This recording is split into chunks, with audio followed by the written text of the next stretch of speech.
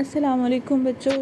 बच्चों, आज हम वायरो स्टार्ट करने जा रहे हैं, अल्हम्दुलिल्लाह। और वायरो के अंदर मैं जनरल वायरो बी एस एच नहीं करवा रही, क्योंकि स्पेशल जो है वो इंपॉर्टेंट मोस्ट इंपॉर्टेंट है। और दूसरे नंबर पे कि इसमें जो क्वेश्चन आते होते हैं मोस्टली स्पेशल से आते हैं। और उसके अलावा बच्चों स्पेशल के अंदर भी आपने सारे सारे नहीं करने होते। वायरसेस सिलेक्टिव करने होते हैं। आपने सीनियर से मार्किंग करवा सकते हैं, या फिर मुझसे पूछ सकते हैं। मैं आपको प्रॉपरली इसके ऊपर गाइड भी कर दूँगी कौन कौन से वायरसेस करने वाले हैं।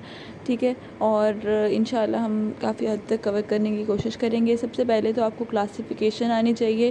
क्लासिफिकेशन बच्चों, इसके डीएनए की बेस पे मोस्टली हम करते हैं। डीएनए और आरएनए इसका जो न्यूक्लियर मटेरियल होता है ना, उसकी बेस पे हम करते हैं।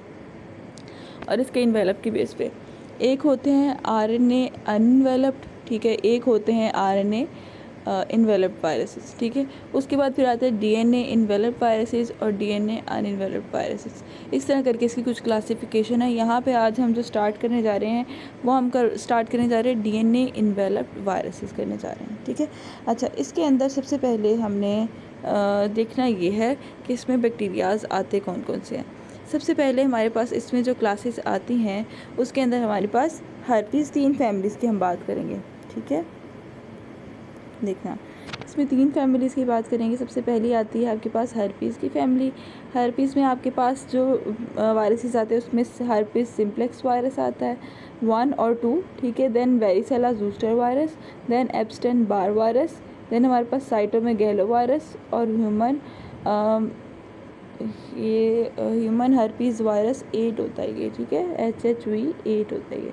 अच्छा उसके बाद ये हमारे पास जो है बेसिक जो हर्पीज़ वायरस जो डिस्कस करते हैं, इनमें जो मोस्ट इंपॉर्टेंट आते हैं, आपके पास हर्पीज सिंप्लेक्स वायरस आते हैं वन और टू ठीक है? दोनों का मैं आपको बताऊँगी। देन हमारे पास वेरीसेला जूस्टर बहुत इंपॉर्टेंट है। एब्सटेंट बार इसलिए इंपॉर्टेंट है क्योंकि ये कैंसर कॉजिंग है, इसकी वजह से देन कैंसर हो सकता है।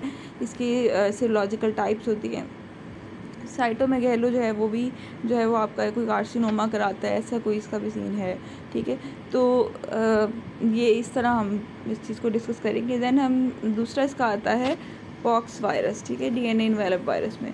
उसके अंदर हम स्मॉल पॉक्स वायरस का ज़िक्र करते हैं। और तीसरा हमारे पास आता है जो कि डीएनए इन्वेलप्ड होता है, वो आपका हर्पी हेपेडिनो वायरस होता है, जो कि आपके लिवर को अफेक्ट करता है, जो हेपेटाइटिस करवाता है। Hepatitis B virus is the only hepatitis virus which is DNA envelop ठीक है? वरना सारे के सारे आरएनए वाले हैं आरएनए इन्वेलप या अनइन्वेलप्ड है, लेकिन एक वाहिद हेपेडिनो वायरस है जो कि हेपेटाइटिस बी वायरस जो कि डीएनए है, ठीक है? डीएनए इन्वेलप्ड है।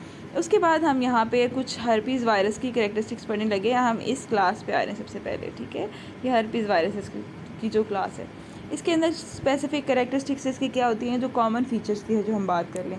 सबसे पहले हमारे पास आता है इनका इकोसा हिड्रल जो है वो कोर होता है, ठीक है? उसके अंदर, उसके अलावा इसके अंदर लिपोप्रोटीन इसका इन्वेलप होता है बाहर। ठीक है।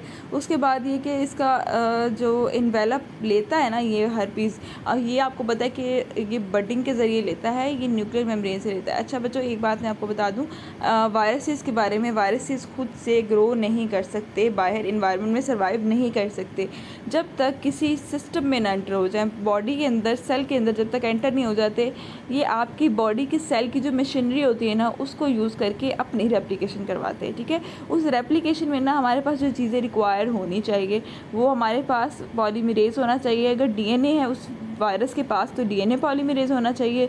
और अगर डीएनए पॉलीमरेज नहीं है तो अगर आरएनए वाला कोई बैक्टीरिया आ जाता है तो उस बैक्टीरिया के पास या उस होस्ट के पास आरएनए पॉलीमरेज होना चाहिए या फिर रिवर्स ट्रांसक्रिप्टेज और देन डीएनए पॉलीमरेज इस तरह करके ना पॉलीमरेजेस चाहिए होते हैं, जिन्होंने होस्ट की मशीनरी को यूज़ करना है और इस वायरस की प्रोटीन बनाने के लिए इसको यूटिलाइज़ करना है। और जब ये सारा कुछ बन जाएगा तो क्या होगा कि वायरस ने जब बाहर निकलना है ना तो वायरस के ऊपर एक डीएनए वगैरह, सब प्रोटीन्स वगैरह सारा कुछ बन गई हैं।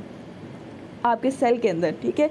अब सेल के अंदर उसने अपने सारे कंपोनेंट्स बना लिए, अपने डीएनए बना लिया, अपनी प्रोटीन सारी बना ली हैं, ठीक है? सारा कुछ बनाने के बाद जब उसने बाहर निकलना है ना तो ऑब्वियसली आपको पता है कि यहाँ पे डीएनए डीएनए भी तो बना है ना, इसका जो जिनोम है वो बना है। तो मे भी हो सकता है कि ये एक्सक्रीट होते हुए अब इसके बाहर जो कवरिंग आती है, ये वाली इन्वेलप जो उसने लिया है बाहर, वो दो जगह से ले सकता है, ठीक है? एक तो जिस सेल से ये बन रहा है, उसकी जो साइटो सेल मेम्ब्रेन है ना, उससे ले सकता है ये, ठीक है? बाहर निकलते वक्त ना, वही अपने गिर्द रैप करके बाहर निकल जाएगा। या फिर ऐसे करेगा, अगर न्यूक्लियस के अंदर बन रहा है तो न्यूक्लियस की ही न्यूक्लियर मेम्ब्रेन लेके ना, अपने ऊपर कवर करके और ये भी बाहर निकल जाएगा, ठीक है? सारा कुछ होस्ट की यूज़ किया है इसलिए मशीनरी भी उसकी यूज़ की है मेम्ब्रेन भी जो है वो उसी से लेके बाहर निकल रहेंगे ये वाला कुछ काम है और इसके केस में, हर पीस के केस में क्या होता है न्यूक्लियर मेम्ब्रेन होती है, जो कि इसका इन्वेलप बना रही होती है, ठीक है? जिस सेल को इसने इन्फेक्ट किया है ना, उसी सेल के न्यूक्लियस की जो मेम्ब्रेन है, उससे इसने अपना कैप्सूल लिया है डिराइव किया है, ठीक है? अच्छा उसके बाद ये कि पोजेसिस आर टैगमेंट जो है ना जिसके अंदर रेगुलेटरी प्रोटीन्स होती हैं, ठीक है? न्यूक्लियोकैप्सिड और इन्वेलप से एक बनता है तो उसके अंदर रेगुलेटरी प्रोटीन्स होती है, उसमें ट्रांसक्रिप्शन और ट्रांसलेशन के फैक्टर्स होते हैं। उसके बाद ये कि इसके पास एबिलिटी होती है कि ये लेटेंट इन्फेक्शन कर सकते हैं। मतलब कि एक बार इन्फेक्शन हुआ, ठीक है? एक बार फ़र्स्ट एक्सपोजर हुआ, ठीक है? उसके बाद ना हमें लगा कि ड्रग जो है ना, वो डिज़ीज़ जो है ना, वो ट्रीट हो गया और वायरस हमारी बॉडी से ख़त्म हो गया होता क्या है? ये ख़त्म नहीं हुआ होता, ये जाके आपका जो स्पाइनल कॉर्ड है, उसमें होते हैं गैंग्लिया ठीक है? उन गैंग्लिया के अंदर जाके ये डॉर्मेंट हो जाता है मतलब कि सो जाता है, ठीक है? सो जाता है, कहते हैं, मैं फ़िलहाल सो जाता हूँ। लेकिन जैसे ही बॉडी के अंदर इम्यूनो डेफिशिएंसी की स्टेट आएगी, जब ही बॉडी के अंदर हो, जो है होस्टल इम्यूनिटी कम होगी, साथ ही मैं दोबारा से एक्टिव हो जाऊँगा, दोबारा से सो के उठ जाऊँगा और दोबारा से इन्फेक्शन करवा दूँगा। वो इसका होता है कि लेटेंट इन्फेक्शन या सेकेंडरी इन्फेक्शन लेटेंट फ़ेज़ में चला जाता है। लेटेंट स्टेज में, बाद में फ्यूचर लाइफ में जब इम्यून सप्रेशन होगी तो उसकी रीएक्टिवेशन हो सकती है, ठीक है? यही बात नीचे लिखी हुई है कि पहले इसकी एक्टिव डिज़ीज़ होती है, ठीक है? देन वो लेटेंट स्टेज में चला जाता है। ये देखो, ये active disease then latent stage में चला गया देन इसकी रीएक्टिवेशन रेप्लिकेशन और ऑन इम्यून सप्रेशन ठीक है? उसके बाद ये कि इसमें ना दो वायरसेस हर्पिस वायरस की फैमिली के पार्ट्स हैं, जिनको हम कह रहे हैं हर्पिस सिम्प्लेक्स वायरस और साइटोमेगेलो वायरस ये दोनों जो आपके वायरसेस हैं, ये आपकी लेटेंसी स्टेट को मेंटेन करते हैं। ये जो लेटेंट फ़ेज़ स्टेज है ना, इसको मेंटेन करते हैं।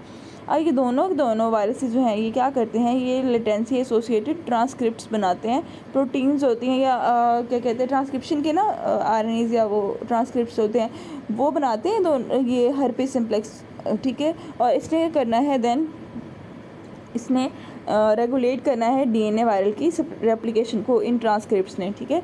और उसके बाद ये कि जो साइटोमेगेलो वायरस है, इसका बताया हुआ कि एक माइक्रो आरएनएस बनाता है, ठीक है? अब ये माइक्रो आरएनएस का काम क्या आता है? इन्होंने जो मैसेंजर आरएनए की जो चाहिए ना आपकी वायरल रेप्लिकेशन के लिए रेप्लिकेशन के लिए कोई ना कोई आरएनए चाहिए ना इसमें तो वो उसकी ट्रांसलोकेशन ट्रांसलेशन है ना तो उस मैसेंजर आने की। ऑब्वियसली मैसेंजर आने ट्रांसलेट होगा प्रोटीन्स बनेगी देन आपके पास वो बनेगा, क्या कहते हैं क्या कहते हैं आगे प्रोटीन्स बनेगी और वो भी दैन आगे इन्वॉल्व होंगी इंजाइम्स बना के रेप्लिकेशन में इन्वॉल्व होंगी। और ये क्या ये जो माइक्रो आर होते हैं ना, उस सेल के अंदर जो प्रोटीन्स बननी होती है, वो उनकी सिंथेसिस को इनिबिट कर देते हैं। तो फिर जो है वो क्या कहते हैं, इसका एक और की फैक्टर है। देन एक और बात है कि इसके अंदर जिनोम होता है जो कि इनकोड करता है प्रोटीन और आरएनए को, ठीक है? और वो क्या करेंगी? वो अपोप्टोसिस को इनहिबिट कर देंगी और वायरल सेल जो है वो सर्वाइव कर जाएगा, ठीक है? वायरल सेल की सर्वाइवल के लिए ज़रूरी होती हैं चीज़ें, ठीक है? ये बच्चों, इतनी इंपॉर्टेंट बातें नहीं है। जस्ट जो है ना, इनको रीड कर लो, ये याद करने की ज़रूरत नहीं है। ये बातें देख लेना कि वेजिकुलर रैश कौन कौन करा रहा है? Simplex virus simplex virus one two और वेरिसला जूस्टर वायरस की वेसिकुलर रैश करा रहे हैं और यही तीनों और इनके साथ अगर साइटों में गैलो भी ऐड कर दें तो ये दोनों क्या करेंगे? मल्टी न्यूक्लेटेड जॉइंट सेल की फॉर्मेशन करवाते हैं। ठीक है? और उसके बाद हम इसकी ये